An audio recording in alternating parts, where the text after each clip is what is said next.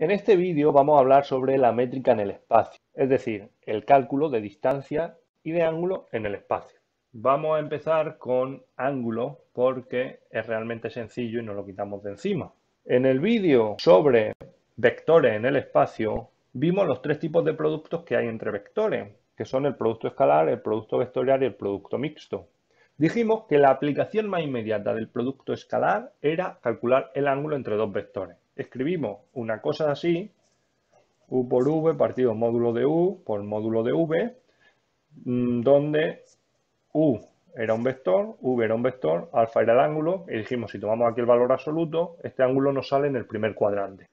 Si nosotros queremos calcular el ángulo que forman dos planos, nosotros sabemos que el plano, ya sabéis que yo pinto así en una dimensión menos, esto es como si lo estuviéramos viendo de canto, estos son dos planos. Si nosotros queremos calcular, como digo, el ángulo que forman dos planos, los planos vienen caracterizados por un vector normal, vector normal del pi1 y este sería el vector normal del pi2.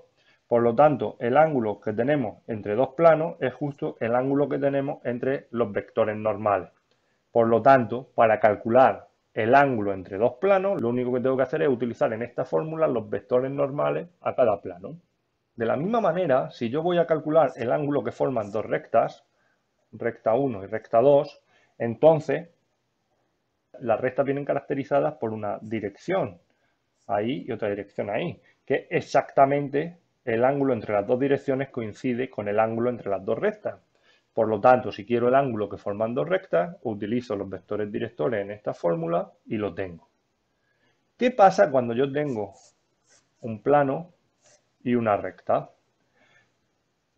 Y quiero calcular el ángulo que forman la recta y el plano. La recta viene caracterizada por su vector director y el plano por su vector normal. Si yo utilizo el vector director y el vector normal en esta fórmula, el ángulo que estoy calculando sería este de aquí.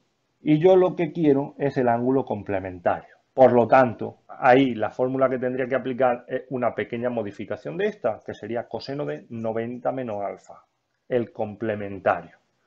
El complementario de lo que me daría la fórmula sería el ángulo entre la recta y el plano. Y utilizaría el director de la recta por el normal del plano partido los módulos de cada uno de los vectores en valor absoluto porque me quedo con el ángulo en el primer cuadrante. Por lo tanto ya habéis visto que esto no ofrece ninguna dificultad y que es muy sencillo. Vamos a ver ahora las distancias. Distancias tenemos dos fórmulas obligatorias, fundamentales que nos tenemos que aprender.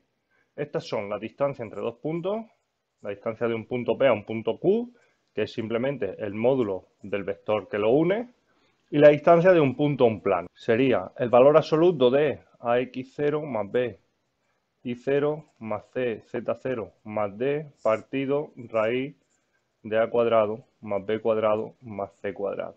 Esto es, en la ecuación general del plano, sustituimos las coordenadas del punto X0 y 0 y Z0 eso nos da un número, nos quedamos con el valor absoluto. Dividido el módulo del vector normal al plano. Estas dos fórmulas son muy sencillas y son las que vamos a tener que utilizar seguro, sigamos la estrategia que sigamos. En los siguientes casos que vamos a discutir ahora vamos a tener la opción de aprendernos una fórmula o de resolver algún tipo de problema geométrico que nos permita reducir el problema al cálculo de una distancia en estos dos casos. Vamos a empezar, por ejemplo, con la distancia de un punto a una recta. La distancia de un punto a una recta, la fórmula sería PQ por VR, producto vectorial, partido módulo de VR. Vamos a ver un poco qué significa esto. Estamos calculando la distancia del punto P a la recta R. Entonces yo tengo un punto P y una recta R. Esta Q es un punto de la recta. Desde este punto yo puedo dibujar el vector director de la recta. Pongamos que es S. Entonces, PQ vector significa que el vector esté de aquí. El módulo de este producto vectorial, justo lo que tenemos en el numerador, dijimos en el vídeo de vectores que era el área de un paralelogramo. Es decir, que yo tengo aquí un paralelogramo donde esto de aquí vuelve a ser VR, esto de aquí vuelve a ser PQ y esto de aquí es PQ. Estoy calculando este área, este numerador. El módulo de este vector es justo el tamaño de la base de este paralelogramo, por lo tanto, área partido base es justo la altura, que es la distancia. Entonces esta es una fórmula muy lógica. ¿Cuál es la forma alternativa de calcular la distancia de un punto a una recta si no me quiero aprender la fórmula? Pues muy sencillo, volvemos a tener el punto y la recta. Lo único que tengo que hacer es calcular la proyección de este punto sobre la recta y la distancia del punto a la recta va a ser la distancia entre el punto y su proyección sobre la recta. Esto vimos cómo se hacía en el vídeo de simetría y proyección en el espacio. Os dije que una de las aplicaciones más importantes de las proyecciones era el cálculo de distancia. Vamos a ver ahora la distancia entre dos rectas.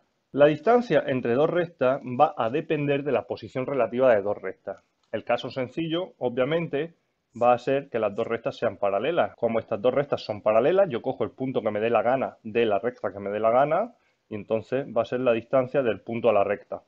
Como son paralelas, todos los puntos de S están a la misma distancia de R, por lo tanto, da igual qué punto coja. La distancia entre dos rectas paralelas es la distancia de un punto a la otra recta. Y de esta manera he reducido el problema de la distancia entre dos rectas a la distancia de un punto a una recta, por lo tanto estamos en una de estas situaciones de aquí. ¿Qué pasa si las rectas se cruzan en el espacio? Si las rectas se cruzan en el espacio, estamos en una situación muy parecida aquí. Hay una fórmula formal la distancia entre dos rectas, vamos a llamar R y S, sería el valor absoluto del producto mixto de los vectores directores, el vector auxiliar del mismo tipo del que me he creado aquí, partido el módulo del producto vectorial de los vectores directores. La interpretación de esta fórmula es análoga a esta de aquí. Si yo tengo un punto, digamos, de la recta R, un punto de la recta S, este tiene su vector VR. Este tiene su vector WS. Con esto, ahí me sale un paralelepípedo, porque yo tengo eso de ahí, aquí tengo el VR, el VS lo tengo aquí y ya se está formando esta caja de zapatos torcida. Dijimos en el vídeo de vectores que esto era el volumen del paralelepípedo y que esto era el área de un paralelogramo, el área de la base. Por lo tanto, volumen partido área de la base es justo la altura. Por lo tanto, esa fórmula me está dando la distancia entre las dos rectas. Si yo no me quiero aprender esta fórmula, tengo dos opciones. Primera opción, recta R, recta S, yo puedo calcular la perpendicular común, una recta que sea perpendicular común a las dos rectas dadas, calcularía los puntos de corte y la distancia entre R y S sería la distancia entre P y Q, entre dos puntos, y estaría en la primera fórmula. Segunda opción, tengo la recta R, la recta S. Yo calculo un plano que contenga a S, por ejemplo, y sea paralelo a R. Entonces, ¿ahora en qué situación estoy? Estoy en la situación de que esta recta es paralela a este plano. Y tendría que calcular la distancia entre R y S, sería la distancia entre la recta y el plano. Justo esto es lo que vamos a ver ahora, la distancia entre recta y plano y la distancia entre dos planos, que es lo que nos queda. La distancia entre una recta y un plano solo tiene sentido cuando la recta es paralela al plano, porque en cuanto se tuerza un poquillo lo va a cortar y la distancia es cero, y si está contenida también la distancia es cero. Por lo tanto, tiene que ser paralela, y si es paralela yo cojo un punto de la recta y sería la distancia de un punto a un plano, que es la segunda fórmula que hemos visto y que hemos dicho que era obligatorio saberse. Y nos falta también la distancia entre dos planos, pi1 y pi2. Obligatoriamente otra vez los planos tienen que ser paralelos, si no son paralelos, no tiene sentido, la distancia será cero, pues será la distancia de un punto a un plano. Cojo un punto de aquí y calculo la distancia del punto al plano, que es la misma fórmula que está de aquí. Ya que en los dos casos, al ser paralelos, todos los puntos están a la misma distancia y da exactamente igual el punto que elija. De esto no voy a hacer ejemplo ilustrativo en este vídeo. Si revisáis exámenes de selectividad que hay en el canal, una lista de reproducción con más de 50 vídeos, Ahí en los ejercicios relativos a la parte de geometría tenéis algunos resueltos. Si revisáis también los directos, ahí me han hecho algunas preguntas sobre distancia y cosas así. También hay algunos ejercicios resueltos. Si tenéis alguna duda o algún ejercicio concreto que estéis interesados en resolver, ya sabéis que todas las semanas hago directo, me lo preguntáis ahí y lo resuelvo. Lo que sí os he hecho, como en algunos otros vídeos de esta serie de geometría espacial, es que os he preparado un PDF resumen de todo esto de las distancias.